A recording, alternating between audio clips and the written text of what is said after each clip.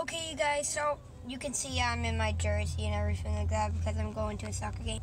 But right now we are about to do a giveaway. So if we hit 50 subscribers, we're going to be doing a giveaway.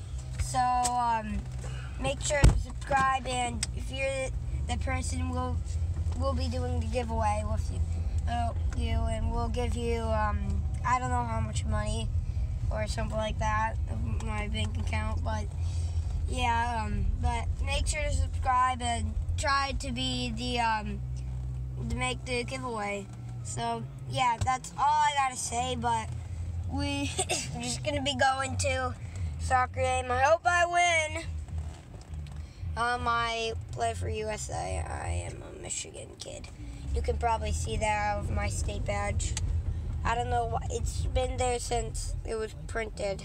For some reason, I don't know why it was. But um, yeah, it's printed on both jerseys.